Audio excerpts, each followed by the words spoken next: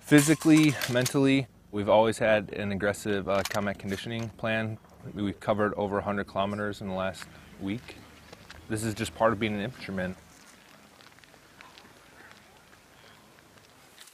The entire time that we've been here, we've worked reverse schedule, so everything's been at night.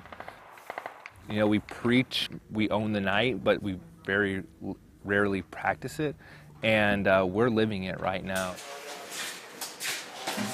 Australia is one of our longest standing allies, and this is an important partnership that we have here. Um, so, to be able to maintain this relationship uh, with Australia, I think, is, is critical. Yo, what, what is. This is probably one of the most austere field ops I've participated in.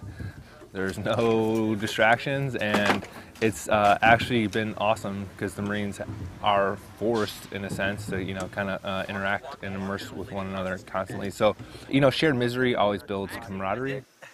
We already are a better company and a closer unit just in the first week that we've been here.